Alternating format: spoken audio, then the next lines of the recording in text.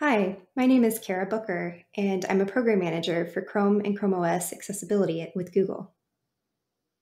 And I'm Emily, and I'm a product manager for Chrome and Chrome OS accessibility at Google. And if you're listening live and have any questions, please be sure to submit them below, and we'll be able to answer them live during the session. Today, we will talk about the importance of accessibility in the workplace, walk through existing accessibility features, upcoming accessibility features, and then talk through some of our resources. Before we get started, don't forget to explore and enable accessibility features in your settings first. At the bottom right of your Chromebook, select the time or press Alt, Shift, and S. Then select Settings, search for Accessibility, and select Manage Accessibility Features. If you want to enable them even quicker, turn on Always Show Accessibility Features in the System menu of your Chromebook to skip some of these steps in the future. Roughly 1 billion people, or 15% of the world's population, have some form of a disability. At Google, we believe that building with and for people with disabilities should be the norm. When we do this, all of our products are truly better for everyone. In fact, my job is dedicated to building technology that makes Chrome browser and Chrome OS more accessible. We like to categorize disabilities in a few different buckets to make it easier to conceptualize and talk about, and to also provide a framework for talking about our built in features. So the first bucket is vision and includes blindness, low vision, color blindness, and farsightedness. Our second bucket is hearing, which includes deaf and hard of hearing. Third, we have motor, and this can range from total paralysis to limited dexterity and mobility. And our fourth bucket is cognitive, which includes challenges in processing information. So this number is compounded when you take into consideration situational and temporary disabilities. So, for instance, a situational disability could be if you're in an environment that is highly distracting and loud, and this could impact the way that you receive information.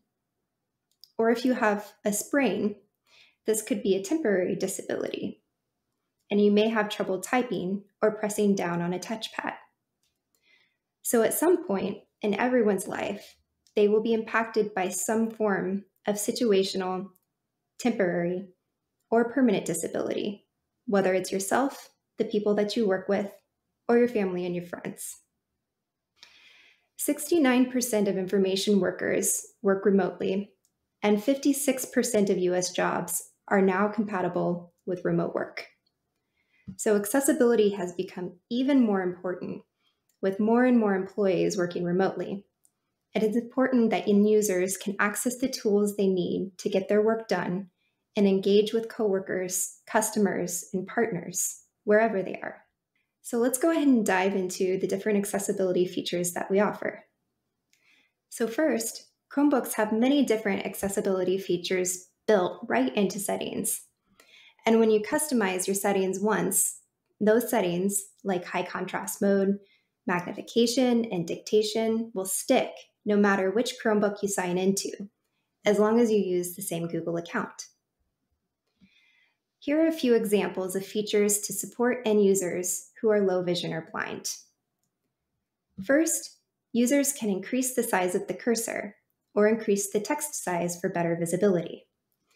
You can also change the color of your cursor to improve its visibility you can now choose from seven new colors in addition to the default black.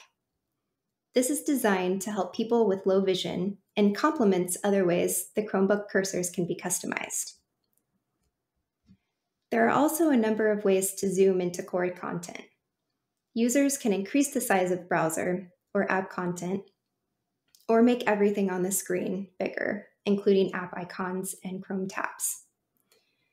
For those that have more significant vision loss, there's an option to use our built-in full screen magnifier to magnify the content up to 20 times, or our docked magnifier, which magnifies one third of the screen and refits the rest of the screen in the remaining two thirds.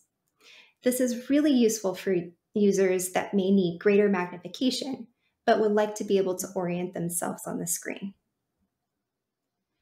Next, there's a feature called Highlights, which helps to draw greater visibility for some of the key parts of the screen.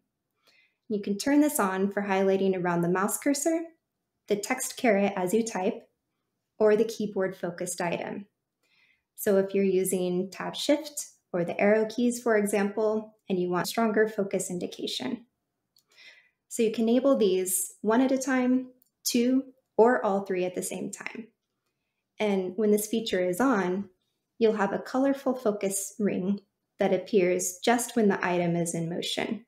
So for example, if you're moving the mouse cursor, then the ring will appear around the cursor as it's in motion. And as you, as you stop, it will fade away. The idea is not to add more clutter, but to add more of a visual cue for important pieces of the screen. Next, for those with light sensitivity or eye strain, you can turn on high contrast mode to invert colors across the Chromebook. And on Chrome browser, we also have Get Image Descriptions from Google, which is a feature that automatically provides computer generated descriptions of any unlabeled image on the web. And it now works on Chrome for Android as well. So when users use a screen reader in Chrome, if an image doesn't have alt text, for instance, Google automatically provides those descriptions of the unlabeled images. Also, users can now export accessible PDFs on Chrome browser.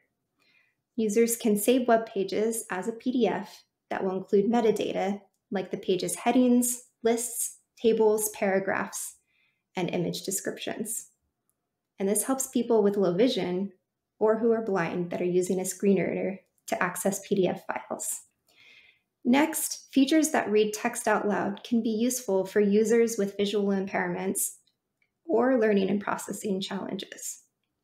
On Chromebooks, we have two different forms of spoken feedback. First, we have Select to Speak, and this lets users select items on your screen and hear them read aloud through spoken feedback. You can also see word by word highlighting as text is spoken for better visual and audio connect, which can be really useful for people with cognitive disabilities. We also offer screen shading behind the selected content, which can be particularly beneficial for people with dyslexia as it can promote better focus.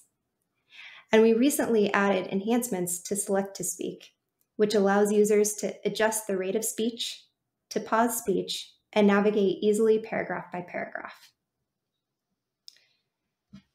And our second feature for spoken feedback is our built-in screen reader, which is called ChromeVox. And this is often used by people that are more significantly visually impaired or blind. Users can navigate around the Chromebook and the Chromebook interface using audio spoken feedback or Braille. And we've added a number of new functionalities, including improved tutorials, the ability to search the ChromeVox menus, smooth voice switching, which automatically changes the screen reader's voice based on the language of the text being read, smart sticky mode, which enables you to avoid pressing the search key for each shortcut for faster navigation. And users can also adjust their text to speech settings, which allows customization of voice, speech rate, pitch, and volume. And now I'll go ahead and pass it over to Emily to talk more about features that help users with mobility impairments. Thank you, Kara. Hi, this is Emily again. I'm the PM for Chrome and Chrome OS accessibility.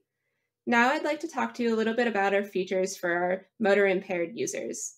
This includes users who have trouble using a mouse, a keyboard, and or a touchpad. First, we offer an on-screen keyboard that allows you to type into any text field using your mouse or the touchscreen. We also offer dictation, which lets you speak to be able to type into these text fields. This can be accessed by turning it on in the accessibility settings and then either pressing the microphone at the bottom of the screen or using the keyboard shortcut Search plus D. We also offer a bunch of different keyboard and mouse settings. This includes things like being able to change the keyboard repeat rate, being able to tap to click or tap to drag. Um, we also offer sticky keys, which allows you to use those tricky keyboard shortcuts that make you press more than one key at a time. Instead, it lets you press them sequentially. For users who have trouble putting pressure on a mouse, we offer automatic clicks.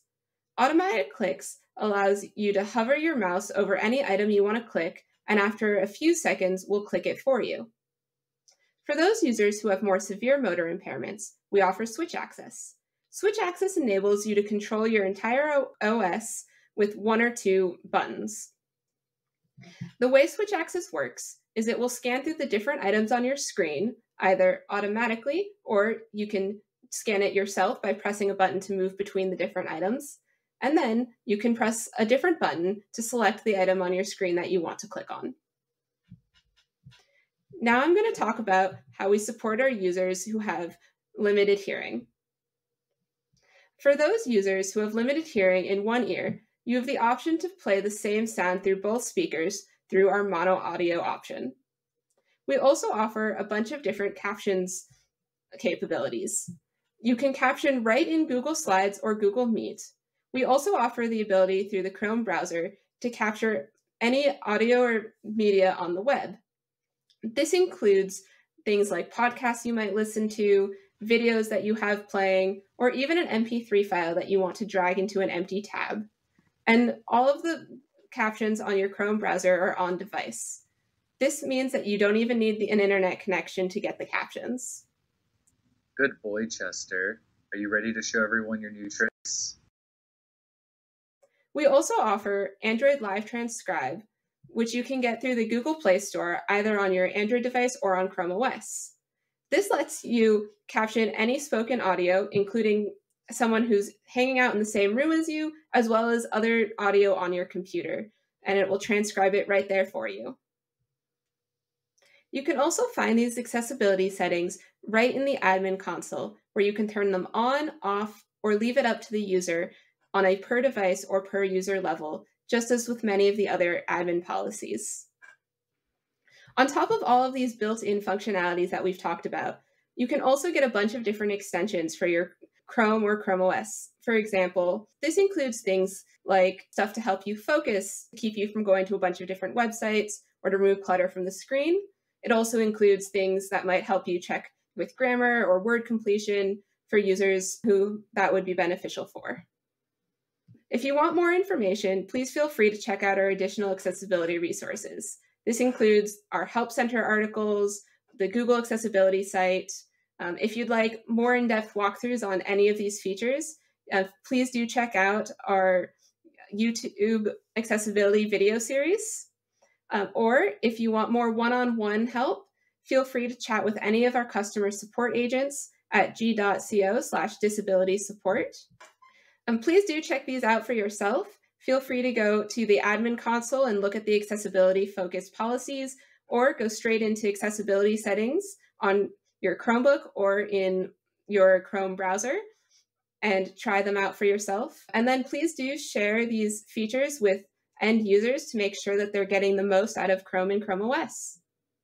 Thank you for joining. If you have any additional questions and weren't able to catch us live, for the Q&A, please feel free to email chromeonair at google.com. Also, don't forget to register for our next upcoming session. This will be on June 10th for the Chrome Insider Browser Tips and Tricks for IT Admins. Thank you again.